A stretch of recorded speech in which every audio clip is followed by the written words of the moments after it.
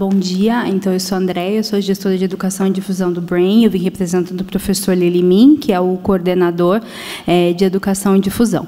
Então, eu coloquei um pouquinho aqui sobre o sobre o, o, o, centro, né? Porque brain, ah, mas muitas pessoas falam foi uma, uma brincadeira, né? É, com a palavra é, cérebro em inglês, então por isso aí Instituto Brasileiro de Neurociência e Neurotecnologia é o hum, vou passar aqui para explicar melhor só um pouquinho. É, o pesquisador responsável pelo nosso centro é o Dr. Fernando Sendes. É, nós temos, então, o coordenador de difusão, o professor Lilimim, e o de Ciência e Tecnologia é o professor Roberto Covolan. É, nós temos 11 pesquisadores principais e mais de 50 pesquisadores associados. Então, é um grupo bem grande, é, com pesquisadores de várias áreas e várias universidades.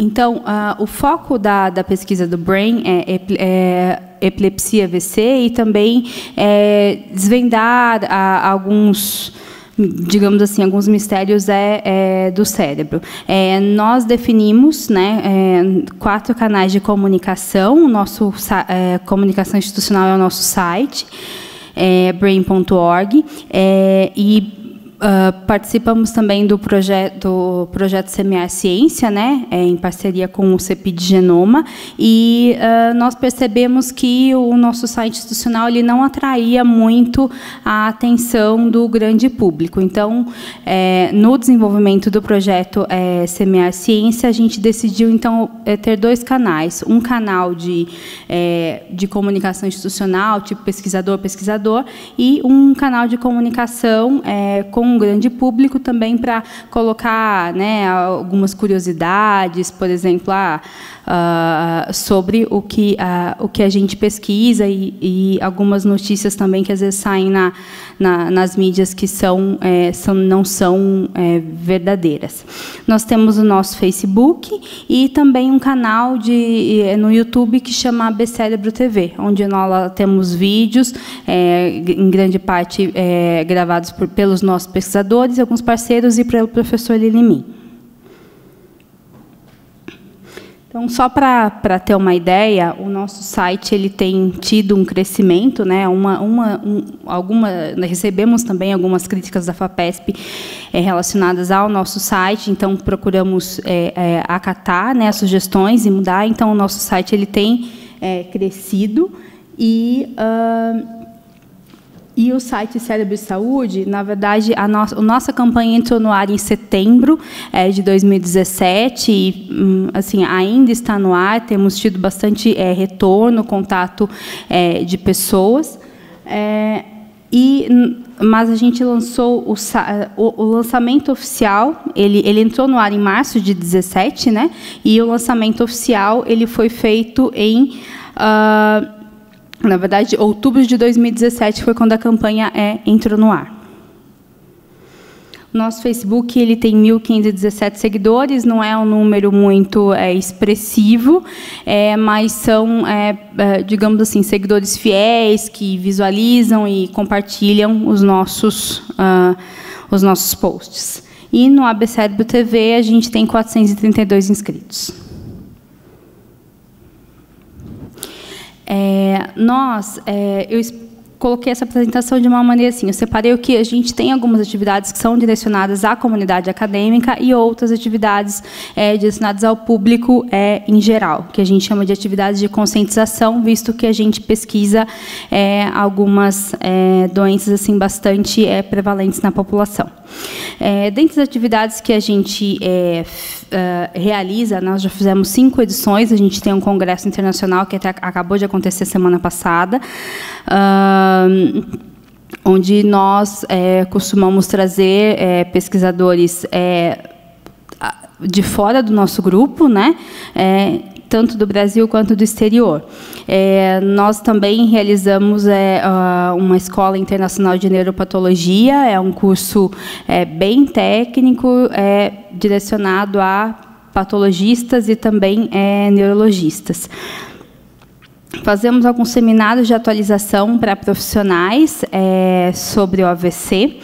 Ah, uma das críticas né, que nós recebemos assim da, da FAPESP foi que o nosso grupo era muito grande que ah, eles sentiam que a gente não algumas vezes não não se conversava. Então ah, nós criamos né, esses seminários Burn Day onde cada pesquisador fala é, do seu trabalho é, com o objetivo de cada um realmente conheça melhor o que o outro está fazendo ou essa pesquisa de repente que uma pesquisa possa é, interagir com a outra e também é, realizamos alguns workshops do grupo para avaliar o andamento dos trabalhos, o que pode ser melhorado, é, etc.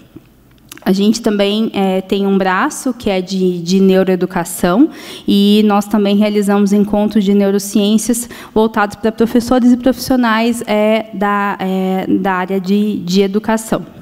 Além disso, a gente também promove algumas palestras técnicas com pesquisadores parceiros. Aqui aí algumas fotos, né? São algumas fotos do nosso último congresso. É, os nossos trabalhos, a gente costuma receber, é, em média, o nosso congresso tem 300 participantes e, e 120 trabalhos é, inscritos. Como nós é, pesquisamos, é, a, o foco né, da nossa pesquisa é epilepsia AVC, nós hum, também pesquisamos outras, é, é, outras doenças né, cerebrais. Então, nós é, realizamos algumas atividades de conscientização. Pode parecer, ah, mas todo mundo sabe é, é, o que é AVC ou que epilepsia não é contagioso. Não. Infelizmente, pelos, pelos retornos que ainda temos, assim, muitas pessoas ainda é, não conhecem quais são os fatores de risco para o AVC, elas não entendem que epilepsia não é contagiosa.